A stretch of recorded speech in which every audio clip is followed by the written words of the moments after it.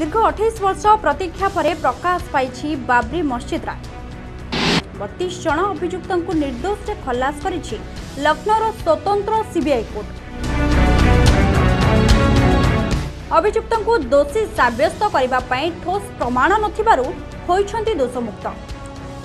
বাবরি ভঙ্গাযা যোজনা প্রস্তুত নুহে বলে কোর্ট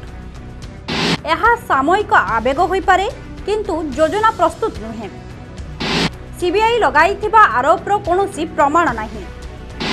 ପ୍ରମାଣ ପାଇଁ ଦାଖଲ ଭିଡିଓ ଟ୍ୟାମ୍ପରିଂ ହୋଇଛି ବୋଲି କୋର୍ଟ କହିଛନ୍ତି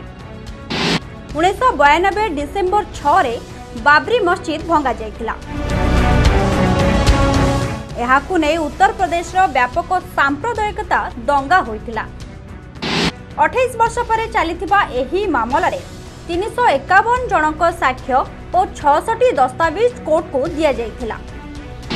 ଏହି ମାମଲାରେ ମୋଟ ଅଣଚାଶ ଜଣଙ୍କ ବିରୋଧରେ ମାମଲା ଦାୟର ହୋଇଥିଲା ଏହା ଭିତରେ ସତର ଜଣଙ୍କ ମୃତ୍ୟୁ ହୋଇଯାଇଛି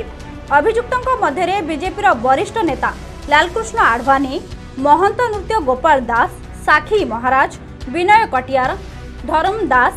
ବେଦାନ୍ତି ଲାଲୁ ସିଂ ଚମ୍ପତ ରାୟ ପବନ ପାଣ୍ଡେ ମୁରଲୀ ମନୋହର ଯୋଶୀ କଲ୍ୟାଣ ସିଂ ଏବଂ ଉମାଭାରତୀ ପ୍ରମୁଖ ଥିଲେ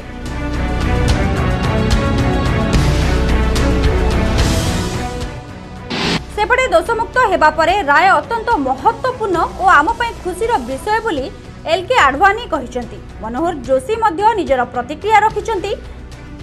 ଏହା କୌଣସି ଷଡ଼ଯନ୍ତ୍ର ନଥିଲା ଓ ସବୁକିଛି ଅଚାନକ ଘଟିଥିଲା ବୋଲି ଯୋଶୀ କହିଛନ୍ତି